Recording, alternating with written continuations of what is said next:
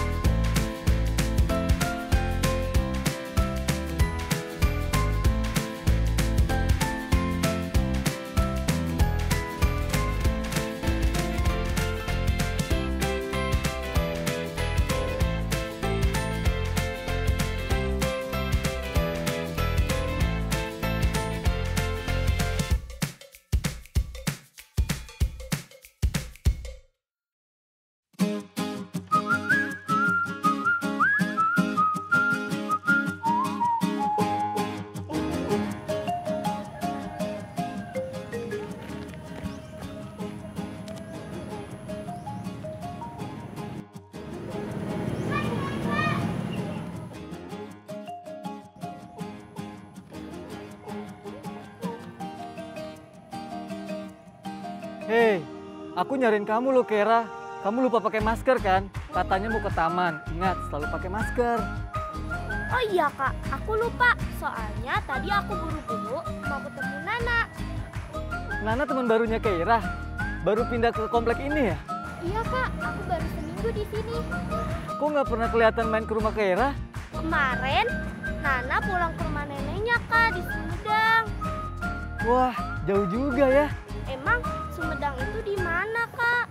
Sumedang itu di Jawa Barat. Jadi Nana itu sukunya Sunda, betul gak nak? Iya, ayah sama ibu aku orang Sunda. Mereka sama-sama lahir di Sumedang. Tapi ada juga orang bersuku campuran. Seperti Dania temannya Kera. Ayah ibunya berasal dari suku Sunda dan Jawa. Tapi Dania selalu bilang kalau dia orang Jakarta. Tahu nggak penyebabnya kenapa? Karena Dania lahir di Jakarta kak. Betul, karena ada sebagian orang yang tidak mudah untuk menentukan sukunya apa. Oh. Kak, aku boleh ikut belajar gak? Kan kemarin aku gak sempat ikut belajar. Boleh. Ya udah, sekarang kita belajar bareng aja yuk kak. Ya udah yuk, kita belajarnya di taman aja ya. Oke. Kalian jangan lupa bawa buku dan alat tulisnya. Nanti Kak Evan tunggu di taman aja ya. Oke. Ayo. Teman-teman yang di rumah, ikut belajar juga ya. Siapkan buku dan alat tulis kalian. Oh ya, satu lagi, jangan lupa berdoa. Kita berdoa dulu yuk. Berdoa, mulai. Belum selesai. Ayo. Ayo menulis.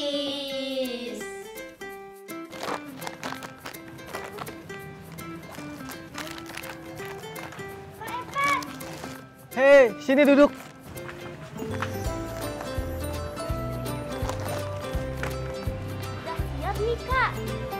Kalian sudah siapin bukunya belum?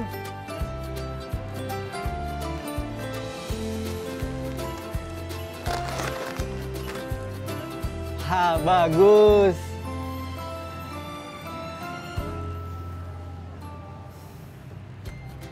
Kak, hari ini kita akan belajar tentang apa? Hari ini kita akan belajar tentang profil budaya masing-masing. Ayo, seberapa tahu kalian tentang profil budaya kalian sendiri? Nah, Kak Evan akan tunjukkan apa yang harus kalian lakukan untuk membuat profil budayamu. Pertama, catat hal terpenting yang menurutmu menjadi bagian dari profil budayamu. Buat tabel informasi pentingnya seperti ini. Ini contoh informasi penting tentang profil budaya Minang yang Kak Evan dan Keira buat kemarin. Mulai dari pakaian adat Minang yaitu pakaian limpapeh rumah nan gadang atau disebut dengan pakaian bundo kanduang. Tuliskan juga makna pakaian tersebut beserta gambar pakaiannya. Selain itu, dalam profil budaya Minang juga bisa dimasukkan informasi tentang tarian khas Minang, yaitu tari piring, baca bahasa Minang, tari piriang, beserta makna dan gambarnya. Satu lagi, profil budaya Minang sebaiknya menampilkan makanan khas Minang. Salah satunya lamang tapai atau lamang ketan. Hal ini disertai juga dengan penjelasan dan gambarnya. Teman-teman di rumah juga sudah membuat keterangan serupa bukan? Silakan ditambahkan dan dilengkapi lagi ya. Kira-kira apa saja yang mau kalian masukkan ke dalam infografis profil budaya kalian nanti? Asik! Jadi hari ini kita bakal bikin infografis profil budaya Minang ya kak? Betul, kemarin kan kita sudah menyiapkan alat dan bahan-bahan yang diperlukan. Teman-teman yang di rumah masih ingat kan bahan dan alat yang diperlukan? Kak Evan akan beritahu lagi ya.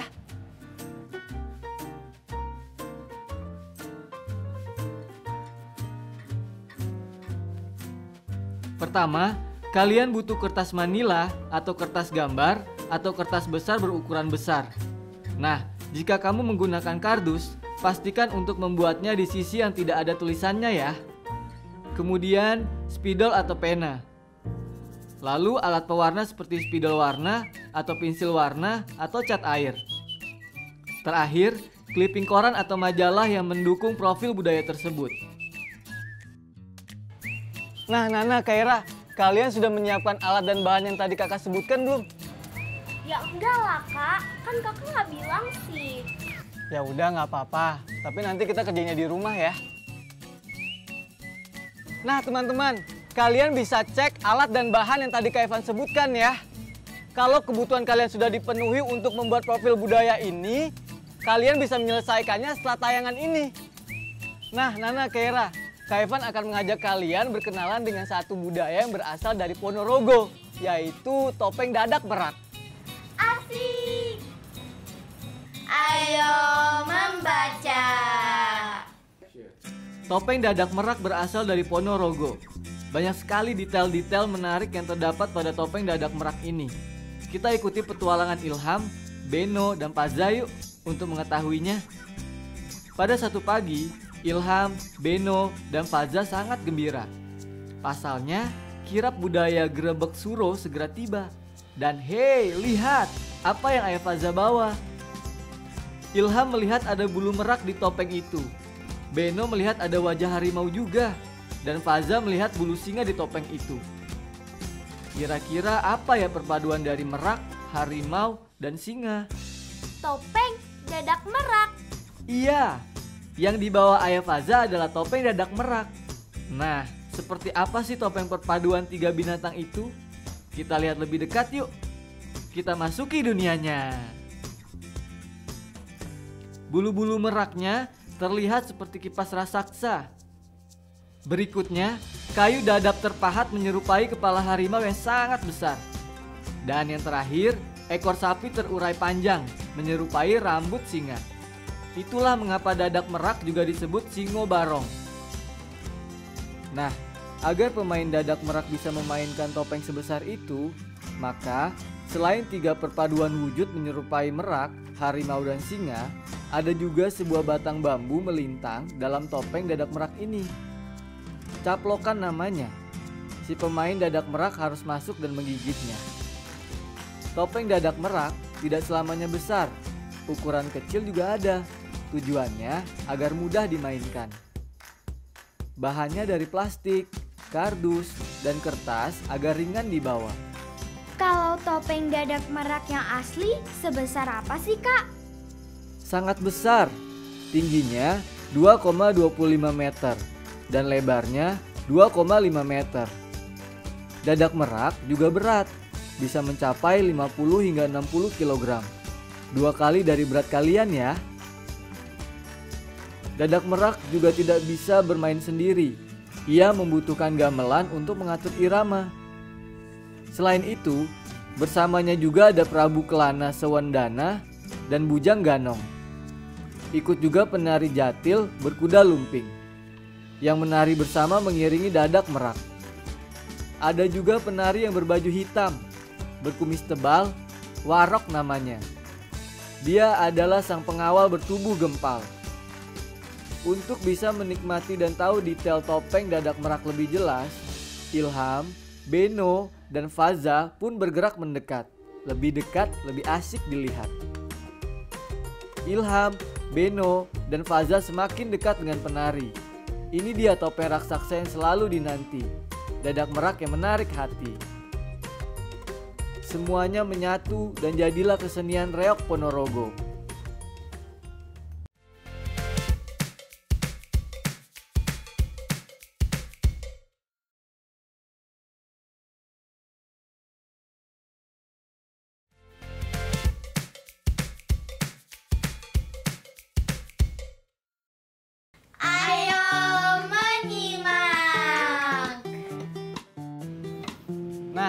Setelah kita belajar mengenal budaya masing-masing, jangan lupa tugas kalian ya tentang membuat profil budaya. Iya kak, siap kak. Kamu liatin apa, Nak? Ah, aku liatin kolam ikan itu kak. Aku jadi teringat di Sumedang nenekku punya kolam ikan. Tapi kolamnya tidak seluas yang ada di sini kak.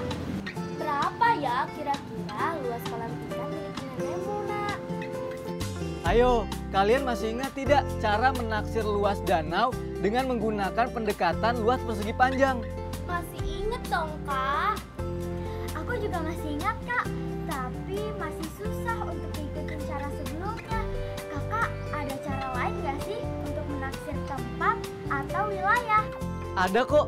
Kalian hanya tinggal membuat kotak persegi satuan dengan ukuran sisi 1 cm pada peta wilayah yang akan kalian taksir.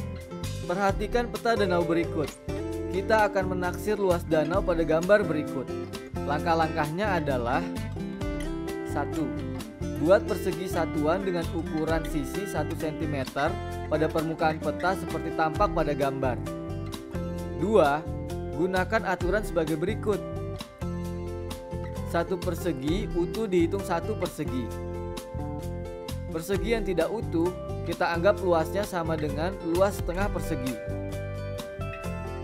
3. Hitung banyaknya semua persegi yang utuh dan yang tidak utuh. Tandai pada peta agar lebih mudah menghitung. Banyaknya persegi utuh atau berwarna jingga sama dengan 28 buah. Banyaknya persegi tidak utuh sama dengan 25. Sekarang, hitung perkiraan luas danau. Skala pada peta danau adalah 1 banding 10.000. Maka, 1 cm pada peta sama dengan 10.000 cm jarak sebenarnya atau sama dengan 100 meter jarak sebenarnya. Luas satu persegi pada peta sama dengan 1 cm kali 1 cm sama dengan 1 cm persegi. Luas satu persegi ukuran sebenarnya sama dengan 100 meter kali 100 meter sama dengan 10.000 meter persegi. Luas persegi tidak utuh pada ukuran sebenarnya sama dengan 1 per 2 kali 10.000 meter persegi sama dengan 5.000 meter persegi. Jadi, perkiraan luas danau sama dengan luas sebenarnya dari persegi utuh ditambah luas sebenarnya dari persegi tidak utuh. Sama dengan buka kurung 28 kali 10.000 tutup kurung ditambah buka kurung tambah 25 kali 5000 tutup kurung sama dengan 280.000 ditambah 125.000 sama dengan 405.000 meter persegi. Gimana? Bisa? Atau masih bingung, Nak? Sekarang aku udah lebih paham kak.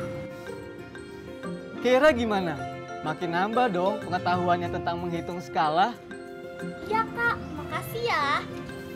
Ayo berlatih.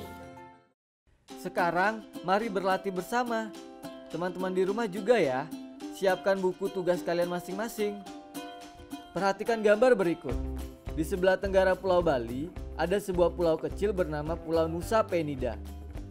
Gambar berikut adalah peta dari Pulau Nusa Penida. Coba kalian perkirakan berapa luas Pulau Nusa Penida pada gambar ya. Ayo, kita hitung bersama ya.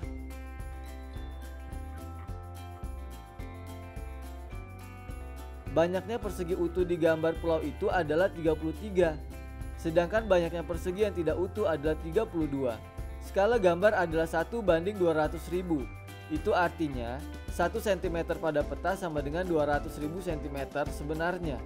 Atau 2 km jarak sebenarnya. Maka luas sebenarnya persegi utuh adalah 2 km kali 2 km sama dengan 4 km persegi. Sedangkan luas sebenarnya persegi yang tidak utuh sama dengan 1 per 2 kali 4 km persegi sama dengan 2 km persegi.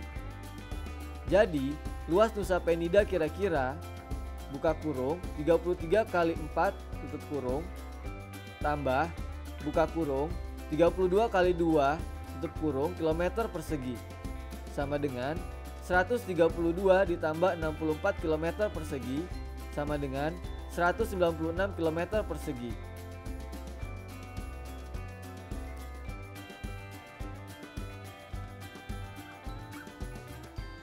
Gimana? Sudah selesai menghitungnya?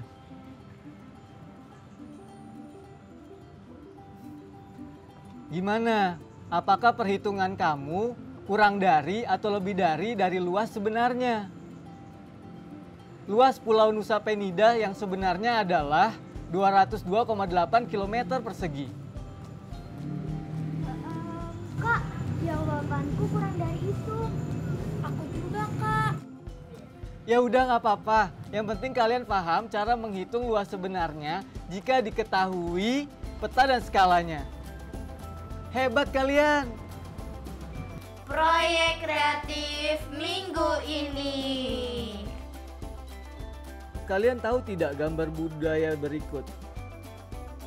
Ini adalah rumah dan pakaian adat khas Minangkabau. Pakaian adat ini dikenal dengan pakaian adat Bundo Kanduang.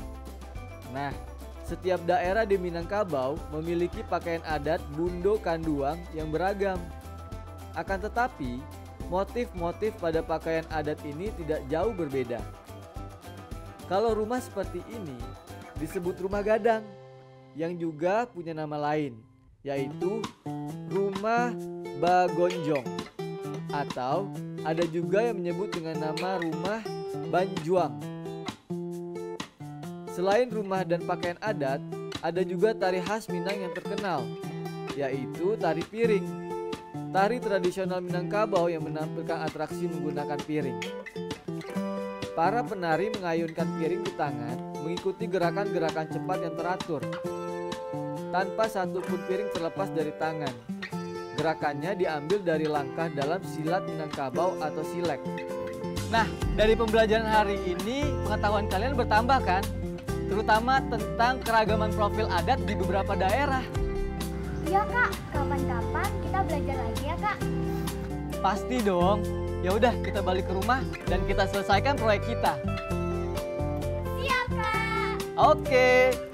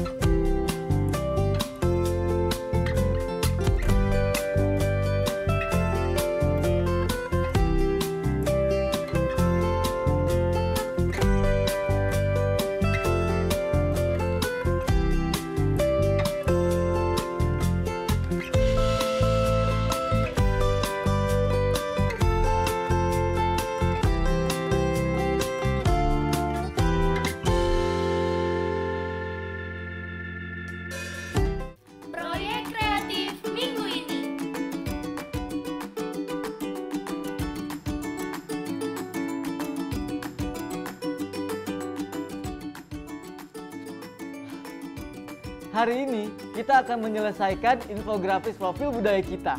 Teman-teman di rumah juga coba selesaikan hari ini ya dengan alat dan bahan yang sudah disiapkan. Ayo buat poster atau infografis sesuai kreasi kalian. Setidaknya poster kalian akan memuat hal-hal berikut. Sejarah singkat rumah adat dari daerah kalian atau daerah yang sudah kalian pilih beserta gambarnya. Lalu, sejarah singkat pakaian adatnya dan jangan lupa gambarnya. Selain itu, tuliskan juga sejarah singkat informasi penting lainnya beserta gambar-gambar pendukungnya.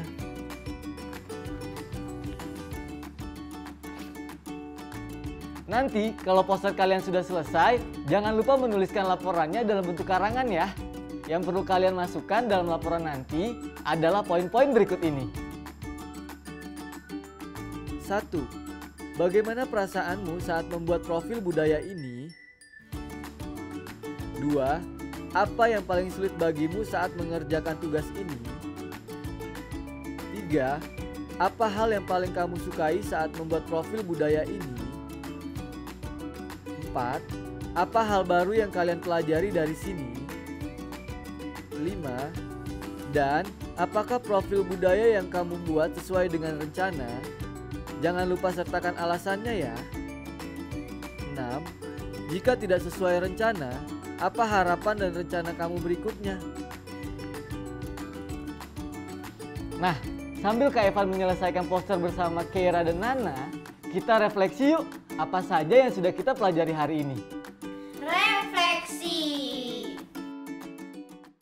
Hari ini kita sudah melengkapi tulisan atau informasi apa saja yang dibutuhkan untuk menyelesaikan profil budaya daerah kita juga sudah mendengarkan kisah tentang topeng dadak merak yang menjadi ciri khas budaya masyarakat Ponorogo, Jawa Timur.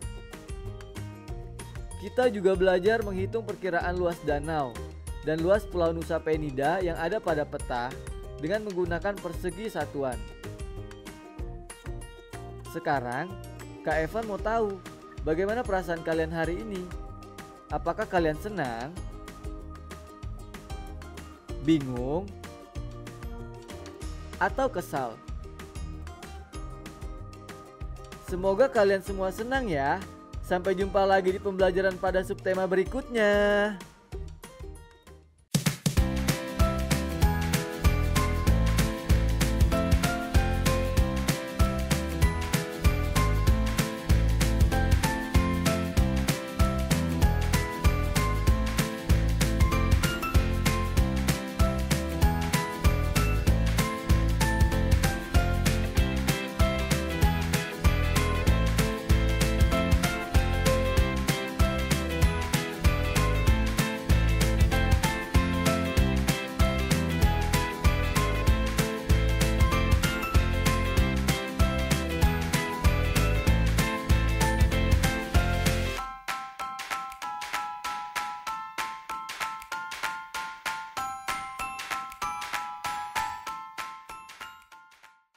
Sekarang tetap belajar dari rumah ya teman-teman.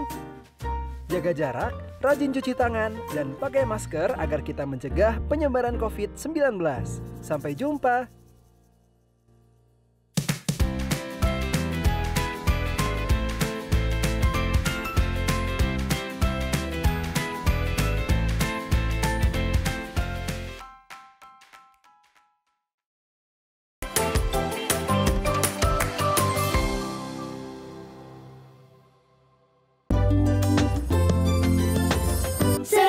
Cuci tangan.